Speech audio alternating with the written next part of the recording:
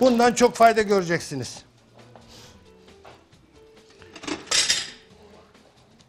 Şimdi sevgili kardeşlerim. Bir fincan kadar bir fincan kadar kil alıyoruz. Kil. Bir fincan kadar da kepek alıyoruz.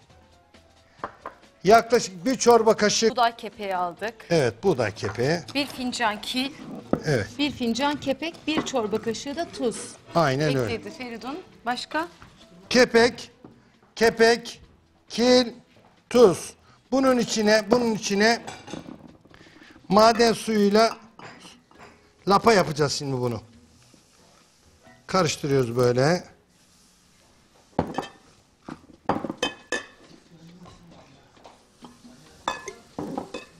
Evet, Tam böyle gördüğünüz lapa gibi, olacak gibi. tam lapa oldu. Biraz daha koyayım mı? Yok koyma. Öyle mi tamam? Bakın kardeşlerim çamur oldu yani güzelce. Evet böyle cilt maskesi gibi oldu. Aynen. Tam o kıvamda. Evet. Şimdi kardeşlerim bunun içine bunun içine önce ısıtacağım bunu. Dayanabilir kadar sıcaklıkta ısıtacağım bunu. Isıtalım mı? Böyle bir tavaya koyduk. Yapışmayacak değil mi bir tavaya? Evet hemen ısıtalım. Hemen ısıtalım. Çok yanmasın dedim. O yüzden böyle Ver bana, açtım. ver bana. Sevgili kardeşlerim bunu böyle İstersen tavada böyle güzelce ısıtacaksınız. Yalnız dikkat edeceğiniz bir şey elinizi koyduğunuzda yanmayacaksınız. Ona çok dikkat edeceksiniz.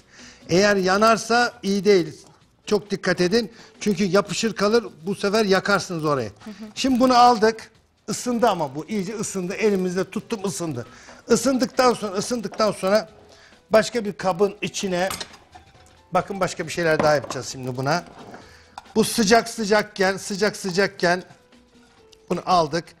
Şimdi önemli kısımlarını anlatıyorum kardeşlerim. Önemli kısımlarını anlatıyorum. Bunun içine bir çorba kaşığı kadar kantonun ozon yağı, bir tatlı kaşığı kadar biberiye yağı koyacağız. Yalnız burada özel bir şey var sevgili kardeşlerim. Kafur diye ağrıları rahatlatan birçok kremin içinde olan bir madde var.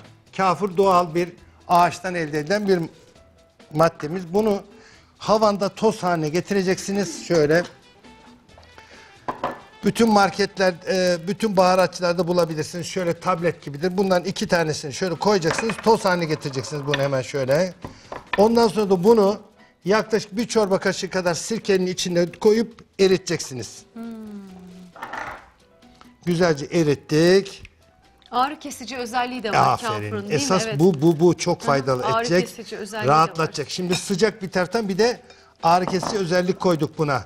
Bu kafur ağrı kesici özelliği var bunun. Rahatlatıyor sizi. Bunun içine ne koyacağız şimdi? Bu böyle yakı gibi bir şey olacak Aynen değil mi? yakı Aynı gibi bir yakı şey olacak. gibi bir bir şey çorba olacak. kaşığı kadar, bir çorba kaşığı kadar da kantononlu ozon yağı koyacağız. Bulamayanlar sırf zeytinyağı da koysalar razıyım. Kantononlu ozon yağı. Sevgili kardeşlerim bir tatlı kaşığı kadar da biberiye yağı. Biberiye yağı da kan dolaşımını hızlandırıyor o bölgede.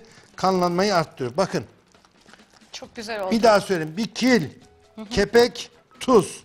Maden suyuyla çamur yaptım güzelce. Ondan sonra onu ısıttım. Dayanabilir kadar sıcaklığa kadar parmağımı sokuyorum yakmıyor. Parmağımı sokuyorum yakmıyor ama sıcak. Ondan sonra bunun içine bir çorba kaşığı kadar sirkenin içinde iki tane kafuru toz haline getirdim. Erittim. Bunun içine koydum. Kantonon koydum. Biberiye yağı koydum. Kantononlu ozonlusu tercih ederiz. Neden? Ozonlu da oksijen demek. Oksijenli kantoron demek.